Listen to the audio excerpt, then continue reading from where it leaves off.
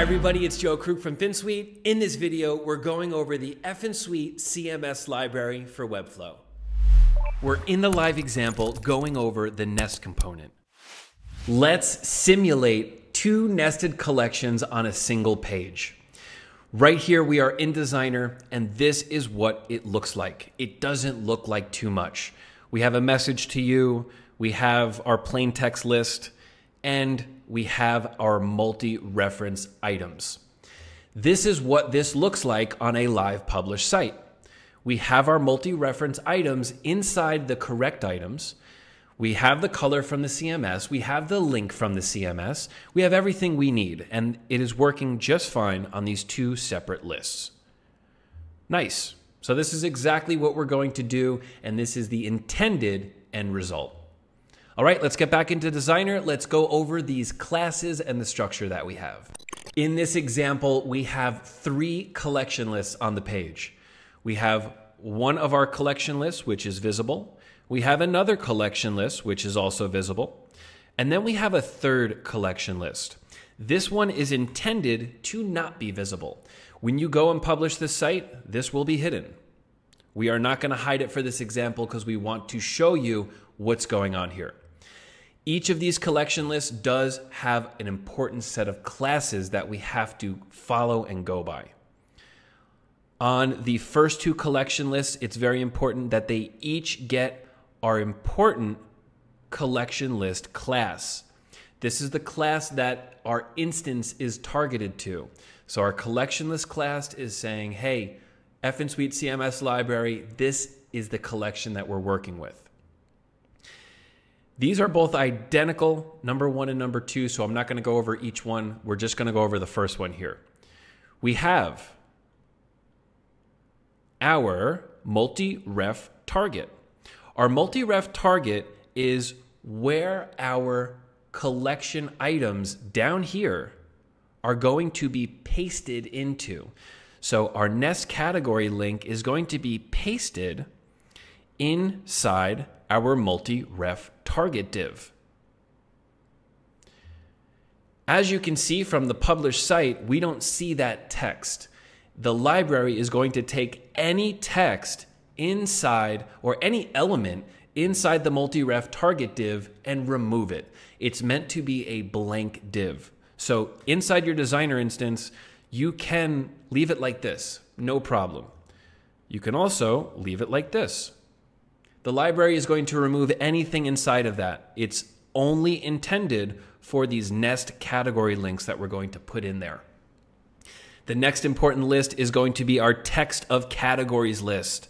Here, this is a plain text, comma separated list of our multi reference items. I'm going to show you what that looks like in the CMS. We have our multi-reference categories. We have our projects only applied to the first 20. So I will sort by number. And as I open each one of these up, you'll see we have our multi-reference categories as multi-reference items. And then we also have a plain text list of the exact same thing. Make sure it is comma separated.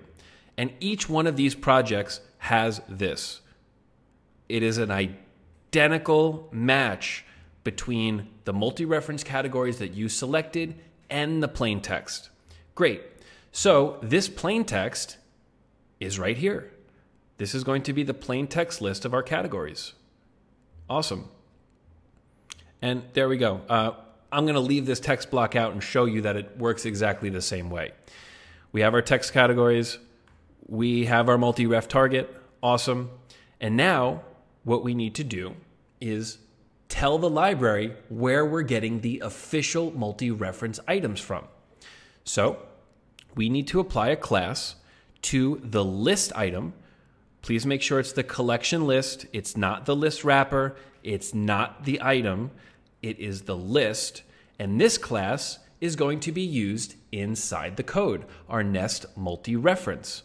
And the nest multi-reference is going to say, this is our list of tags, our list of multi-reference items that we are going to paste inside of our multi-ref target. The way that the library works is it's going to take the very first child element of the collection item. So if I were to add another div in here and say test, and then I went to go and wrap this item in here, test is going to be taken and put inside of our multi-ref target. If I don't have tests and I just have the Nest category link, it's going to take the Nest category link and paste it into the multi-ref target. And it's going to do that for every single item. It's going to look at the plain text list, use that as a key or an ID, and then go and paste the correct multi-reference items inside the visible list. That's how this works. We're in Designer. This is everything you need to know designer wise and class wise to make this multi reference, nested collection, multiple on a page functionality work.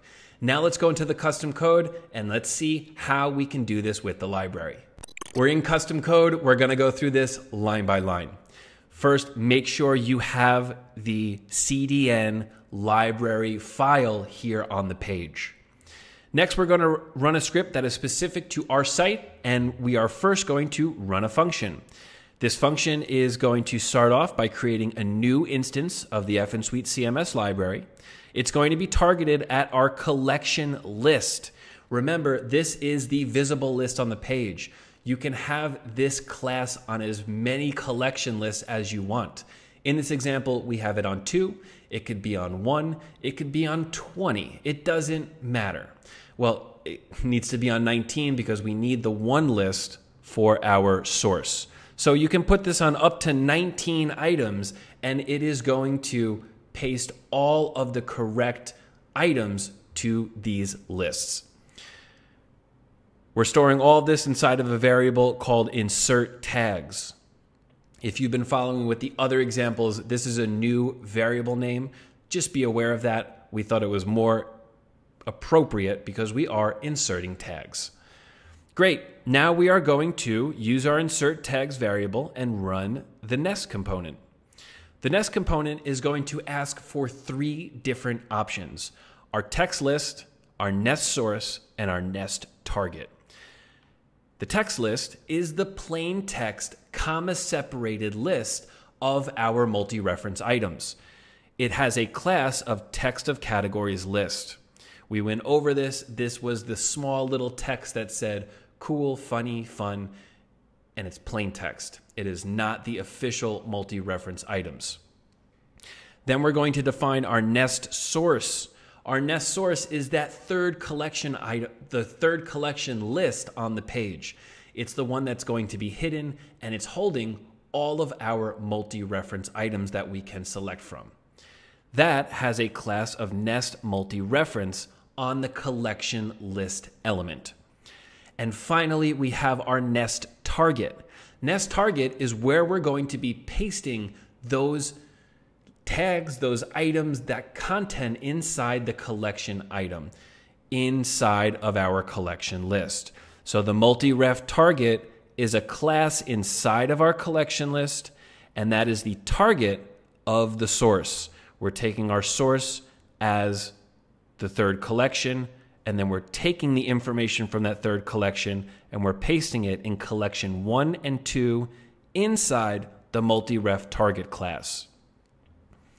That's everything you have to know about the Nest component.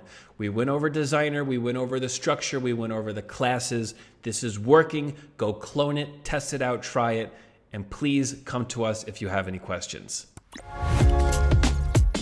That's effing sweet.